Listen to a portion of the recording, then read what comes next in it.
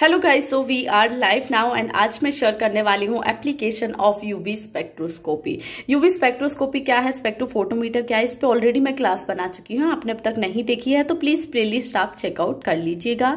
MSc या NET C S I R के other classes के लिए भी प्लेलिस्ट बनी हुई है चैनल पर आप वो चेकआउट कर लेना। ये टॉपिक दोनों के लिए यूजफुल है NET C S I R के लिए यूजीसी नेट के लिए एंड आपके एमएससी के लिए भी।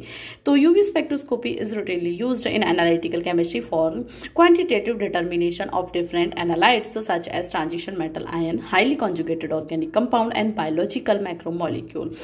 यानी कि ये जो थ्योरी है आपकी स्पेक्ट्रोस्कोपी अगर हम यूज़ करते हैं तो एनालिटिकल केमिस्ट्री में भी ये यूज़ की जाती है किस लिए क्वांटिटेटिव डिटर्मिनेशन के लिए क्वालिटेटिव के लिए हम यूवी स्पेक्ट्रोस्कोपी को यूज़ नहीं कर सकते क्वांटिटेटिव के लिए ही हमें ये यूज़ करनी होती है. फॉर एग्ज़ाम्पल एनालाइट्स के लिए या ट्रांजिशन मेटल आयन के लिए हाईली कॉन्जुगेटेड ऑर्गेनिक कंपाउंड के लिए या बायोलॉजिकल माइक्रोमोलिक्यूल के लिए हम इसे यूज़ कर सकते हैं.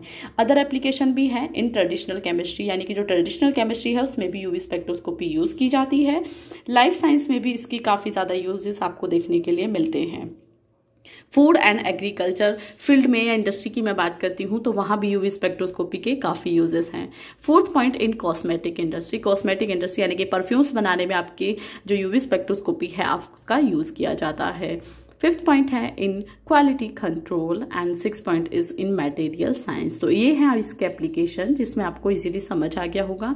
अदर टाइप की क्लासेस अदर सब्जेक्ट की क्लासेस चाहिए तो चैनल की प्लेलिस्ट आप चेक कर सकते हो।